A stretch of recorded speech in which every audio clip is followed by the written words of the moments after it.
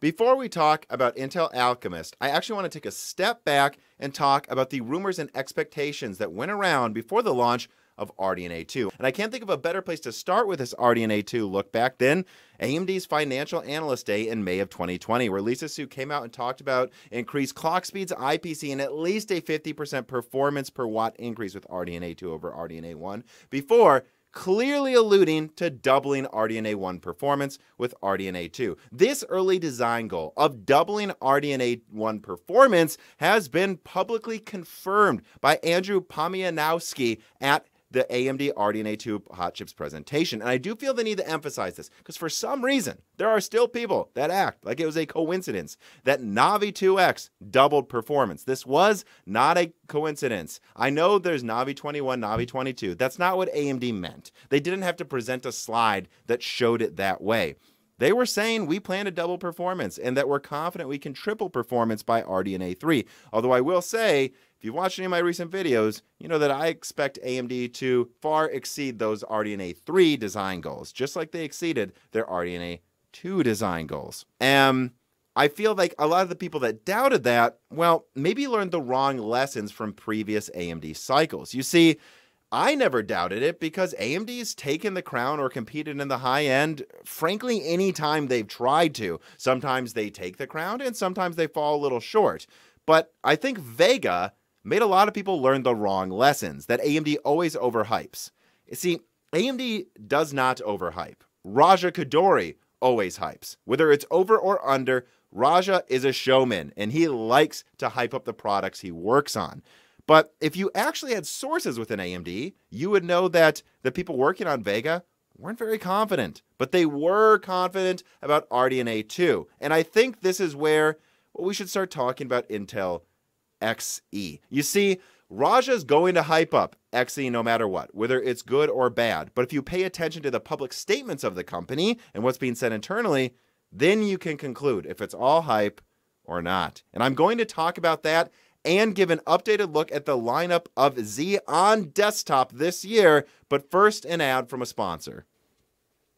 Today's video is sponsored by Hero Wars. Hero Wars is an online role-playing action game with a variety of PvP and PvE modes. Fight against powerful bosses and experience a unique story. Collect loot, upgrade your champions, and complete missions in this classic fantasy game.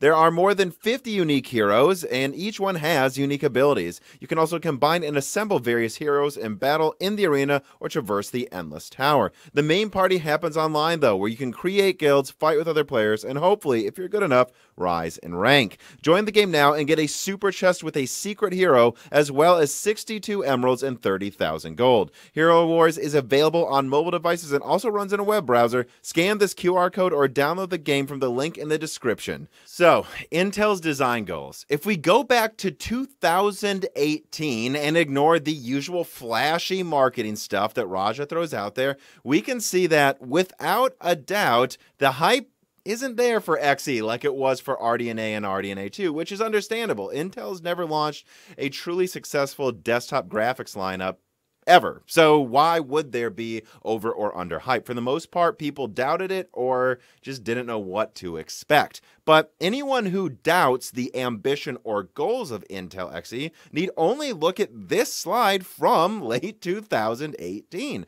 where Intel specifically calls out enthusiasts. They don't just say desktop cards, they say enthusiast in mid range. This distinction between them should tell you no, they really do want to be not just in the mid range, but in high end desktop gaming, and that they wanted these out in 2020, which now that it's currently 2021, and it isn't out yet, clearly, I think it's fair to say Intel has had issues, but also ambition. They're targeting the high end, but they are way behind schedule. And frankly, there has always been this struggle from sources within Intel over whether Xe will succeed or really if it will ever come out. If I were to highlight the first decent Xe leak that came from me, it would be the one in October of 2020. I confirmed that they at least wanted to touch enthusiast levels of performance, which they said was between a 3070 and a 3080, but that most people weren't expecting to hit those goals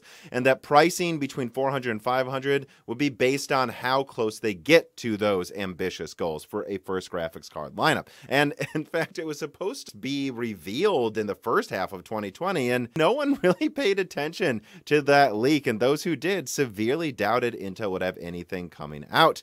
And to be entirely honest with my own opinion, through the end of 2020 and early 2021, I basically gave it a 50 50 chance on if XE would be a success because I was just getting so many mixed signals. I knew what some samples were doing in some benchmarks, but I also knew a lot of people thought that was not indicative of the overall picture that these would never come out. Now, that opinion of mine clearly changed in April of this year when I put out that full 512 execution unit top die leak with pictures and everything. And I mean, come on, doubters. Pictures, and not of something that looks like some early sample, but a complete prototype that fits in a PCIe slot. This thing was real, and the estimates actually from the people testing it were not changing. They expected this to compete in the high end, even if it was coming out a year late. In fact, this leak was the first one I did where the information only got more optimistic. There were not random quotes like this isn't working or we're not sure if it will come out. It seemed to be almost unanimously believed by then that it was going to launch to consumers and things like TDP clock speeds, these were getting more impressive. And the launch date wasn't moving early 2022. And in fact, now there was talk of a 128 execution unit model being prepared for the low end, an area where AMD and Nvidia are completely ignoring it. And this trend of increasing optimism continued when I showed off the PCB in the May 2021 leak that lined up with Igor's information, and since has been shown to eerily represent fans being teased by Intel. This is also where I confirmed XE super sampling, something Intel has publicly shown off now. And so yeah, at this point, all the information that I've been following from my best sources has turned out to be correct. And that pretty much gets us to now, where Intel has publicly confirmed both laptop and desktop launches next year. And I'm going to be honest, it seems like the hype's starting to build with the general public on this one, finally. And it's for the reason I'm excited for it. We just need more competition, even if it's not incredible. We just need more competition, especially in the low end, with how AMD and NVIDIA are practically refusing to even compete there anymore. And so, yeah, I'm happy the most pessimistic whispers didn't hold true. Although, to be fair to the pessimistic whispers, this thing's launching arguably over a year late. So it's not like they were exactly wrong. This wasn't a product in 2020, and it's not a product in 2021. But what product or products will it be in 2022. Let's get into my summary, the current situation based on my best sources of what you can expect from desktop Intel graphics cards next year.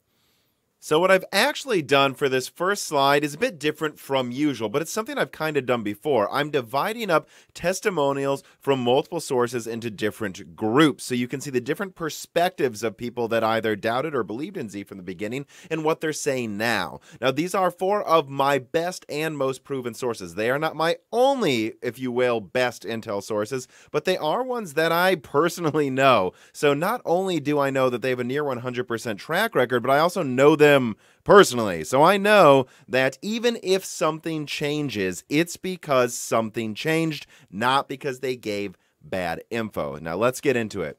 Source one. Now, this was a person who was always confident XE would be a real consumer desktop product, although certainly thought it would come out sooner. This person says that at this point, all I can confirm is the top model should at least be around a 3060 Ti, but yes, it could be higher. Additionally, that the top 512 execution unit die will be pushed in high volume with aggressive pricing, and that in addition to this model, the cut down model is a 384 execution unit model. That's the current plan. I'll say more about what I mean by that later, but this person was very confident in 384 execution units being the current plan for the cut down top die, and that also there's a second 128 execution unit die, probably with 4 gigabytes to directly target the low end.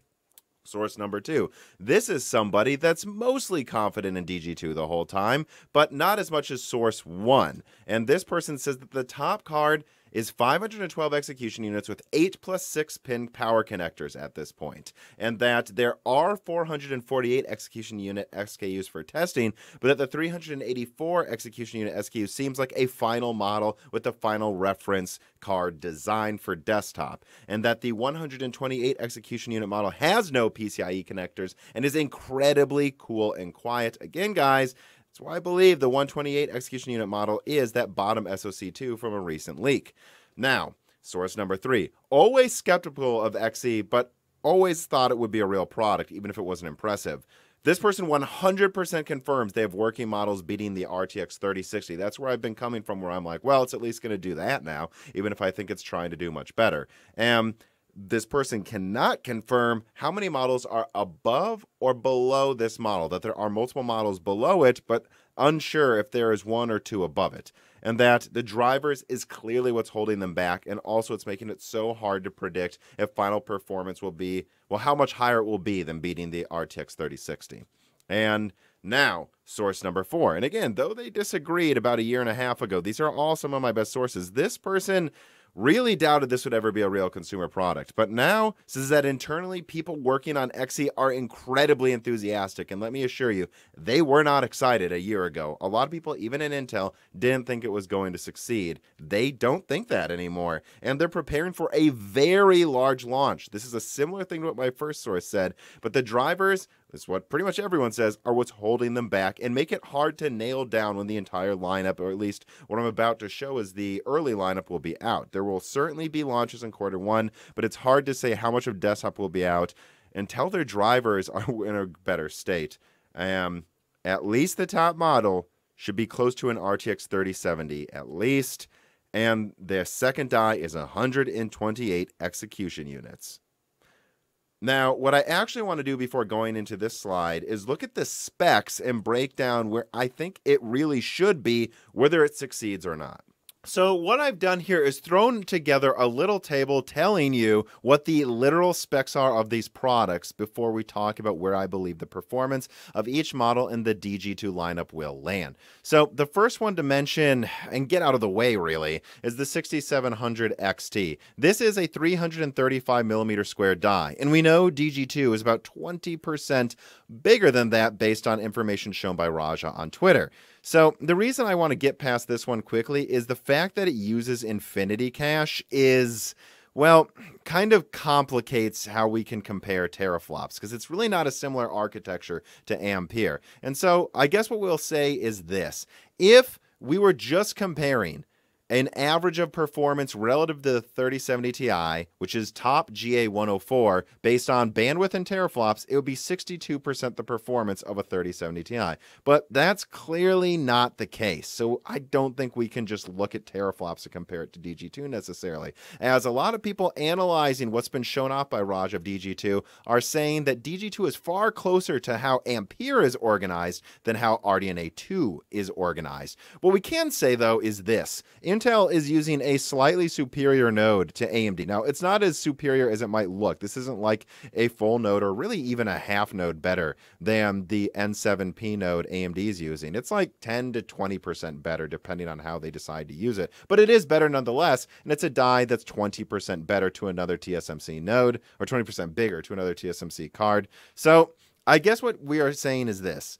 The fact that Intel's using a card that's 20% bigger and is a slightly better node should tell you that even if they are like 20, 30% worse at designing cards than AMD for their first run, which they could be, you'd still expect a similar amount of performance to the 6700 XT, which is really just below the 3070 in performance when RAM isn't an issue, but it often is, which complicates things additionally. So let's then compare it directly to the 3070 and 3070 Ti. If we just average out bandwidth and die size to GA 104, we can see that, well, yeah, I mean, basically, DG2 should be a similar level of performance to the 3070 on paper. And that's before you consider it's definitely got a superior node to what NVIDIA is using. They really cheaped out with Samsung 8 nanometer, but you know, they did that so they could supply a lot of volume.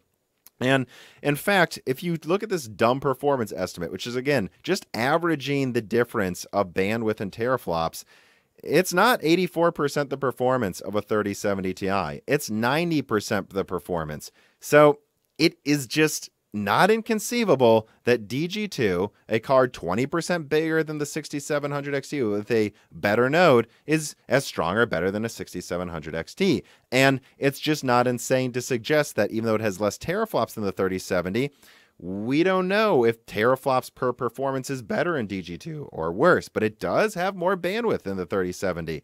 And so, at the very least, what I would conclude by doing these apples to apples comparisons is that whether or not Intel Alchemist manages to beat the 3070 on paper, it needs to at least match it for me to be impressed with Intel's first outing. This is their first try at a big desktop graphics card, but it's clear that since 2018, they were targeting enthusiast level performance, and leaked slides show that's what they're going to try to do with their top die. And the apples to apples comparisons, looking at the differences between these die sizes, teraflops, and bandwidth, this is clearly a direct 3070 competitor through and through. That's what Intel's design goal is. If it falls short of the 3070, it's okay. If it is closer to a 3060, then I would say I'm unimpressed. And if it manages to get next to a 3070 Ti, I know it's using a better node with a similar die size, but it will have used less bandwidth than the 3070 Ti, use less energy, and it's their first attempt. I will be crazy impressed if Intel manages to beat the 3070. But overall, how would I put my uh, summary of information? What do I expect the Intel Alchemist lineup to be based on talking to my sources, including ones that I did not show testimonials from on screen yet? Well, let's summarize what I believe the lineup will roughly look like. Okay. Now that I've done that, let us get back into what I believe the early information points to, not just from those four sources, but from other ones combined together, all this information, what I believe the early launch of Xe on Desktop will be. Of course, there will be the top model with 512 execution units at clock speeds I've been reporting, well, all year. And by the way, these clock speeds that I've been reporting are now backed up by not only analysis on AnandTech, but also an early source this year confirmed an around 17.5 teraflop card around 2.2 gigahertz that was around a 3070 in performance. And those numbers perfectly line up with these later samples that have been analyzed by people based on public information. And with 16 gigabytes of 16 gigabit per second GDDR6, I can now personally confirm those memory speeds. I cannot, as always, rule out that they will have some special edition with faster memory. You know, eventually RDNA 2 launched that, but at the same time, RDNA 2, there were always whispers internally that they may do that from the beginning. I have no whispers on this as of yet. And the current samples, as I've already shown from that testimonial, are 8 plus 6 pin PCIe configuration. I maintain my estimate of below 235 watts for the top non special edition variant. That's what it seems like right now. And the current reference cards, as I said earlier in this video, look like a silver version of that drone teaser Intel put out. And the performance at this point I'm sticking to is between a 3060 Ti and a 3070 Ti. That's basically what I've been saying the whole time, but we're getting closer to the launch, and they have a lot of work to do on drivers the closer we get to the launch, the more apprehensive I am to double down because, well, we know what they theoretically can do. We know what they've done in a benchmark here or there. They've gotten even close to a 3080 with some golden samples in testing, but that doesn't mean the final mass manufacturable card with final drivers will do that on average. So, on average, this is what I'm committing to between around a 3060 Ti and a 3070 Ti. Now, there will then be a cut down top die, and this should have 384 execution units, at least on desktop. Now, this is something that can change, and this is something all my sources emphasized, is that right now this seems like what they're going with, but they could make it a bit more possibly as they get closer to launch and have better information on yields. And there are 448 execution unit samples out there, but that doesn't seem like that's the second tier card for desktop. I think this might be a laptop SKU with 8 gigabytes. Now, I also still cannot confirm though the width on the desktop but uh, on the desktop cut down card, but 192 bit seems like what's most likely based on what's being tested and what my sources are suggesting. Um, that doesn't seem that crazy to anyone, I think. You know, you have something maybe 75% the performance of the top card with 75% of the memory for probably like 100 bucks less or something. But personally, I feel like the big brain move would be if yields allow it, to give it a 256 bit bus and give it 8 gigabytes. Save money on RAM. You know, do like a 450 or $500 top card and then launch something 80% as strong with half the memory around 350. That's what I would do if I was Intel, but I've been really really pushed by some sources that more RAM sells. If it has more RAM, it just looks like it's better performance for most newbies. And a lot of newbies will probably be the ones buying Intel because of brand recognition. So for now, I think 192 bit, 12 gigabytes is most likely, but I know what I would do. I would probably go with 8 gigabytes. And this card should be the one that performs between a 3060 and a 3060 Ti.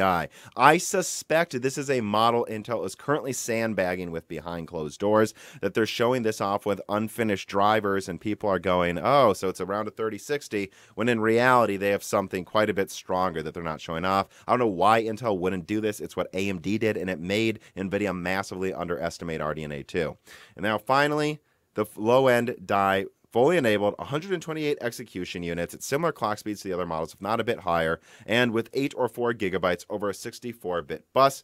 This should use less than 75 watts, and despite that leaked slide, I continue to suspect this is a card that will be in between a 1650 and a 1650 Super in performance. And it really is worth emphasizing that the 1650 Super is significantly stronger than the 1650 in some games, but neither of them can do ray tracing. So if that's a 100 watt card, the 1650 Super, and then the 1650 is like a 30% weaker or, or more actually, like 75 watt card, I think that the low end Xe die will be capable of beating the 75 watt 1650, but not the 100 watt 1650 Super. But it will be able to do ray tracing, something neither of these cards can really do. And again, just to be clear, I'm told the current reference models look a lot like those DG1 cards, but just a bit more boxy and without those ridges. Final points it is too early to confirm exact pricing, and I could have shown pricing estimates on screen, but I just don't think I'm going to. If I'm being entirely honest, what I expect is it, de- you know, depending on performance, if Intel beats the 3070 Ti, like holy crap, if they manage to do that, I think they'll make it like $549 with 16 gigabytes if they can get it out by the end of quarter one to desktop. But if it's closer to a 3060 Ti, yeah, I don't know. I think they might even charge 400. And then that's where you get into this model. Well, if this is only sold for 400, maybe that is when they just give it 8 gigabytes and sell this model for like the price of a 3060. Well, the MSRP of a 3060 that is of course fake.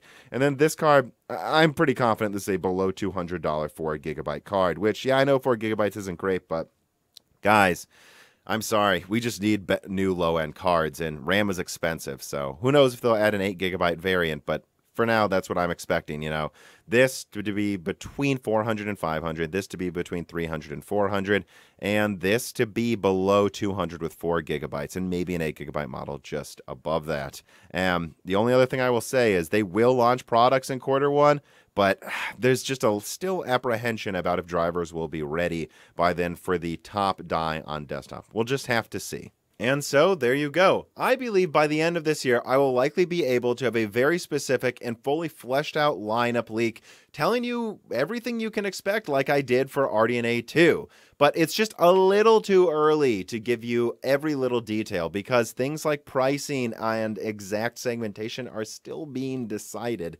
And, well, I had enough information though, like the 128 execution unit model, the rough performance of several of these models, that I thought it would be good to get this leak out there now. So if you're planning your builds, you can know what to expect. And what you can expect is an Intel that is at this point unlikely to get close to a 3080, although I've always said that no one thought it would, and is also probably not going to beat the 3070 Ti, but that should be roughly around a 30-70, winning in some things, losing in others, and definitely above a 30-60 by a decent margin. And yeah, I'm aware that there will probably be some NVIDIA, possibly super refresh coming out around when this launches, and that there will probably be some 6 nanometer RDNA 2 cards as well, and that's entirely unsurprising. It's really not too soon. A 30 series super refresh that launches at the beginning of 2022 is coming out over a year after when Ampere launched. And the same goes for that 6 nanometer RDNA 2. A lot of people will point to those products and say, see, Intel Xe doesn't even matter. Who really cares? But it's worth remembering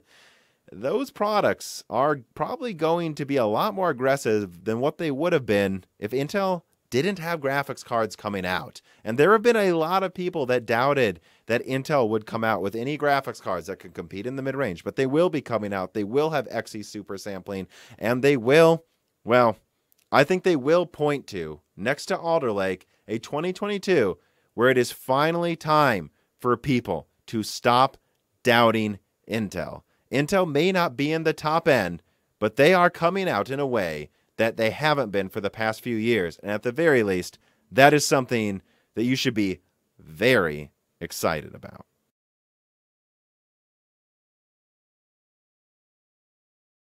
And that's going to just about do it for this video. I hope you enjoyed it. If you did, remember, double check that you subscribed to the Moore's Law is Dead YouTube channel. Half of my viewers are not subscribed. And ring the bell button so you don't miss the upcoming Intel Alchemist leaks and other videos that we'll be doing. And if you have extra money, consider supporting us, me, Dan Gerard, on Patreon. Support the Moore's Law is Dead team and gain access to early ad-free versions of Broken Silicon, the ability to ask me and guest questions, exclusive podcasts like Die Shrink. A new one should be coming out right around when this video is.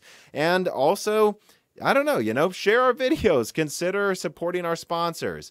But no matter what, as always, if you made it this far, thank you for watching.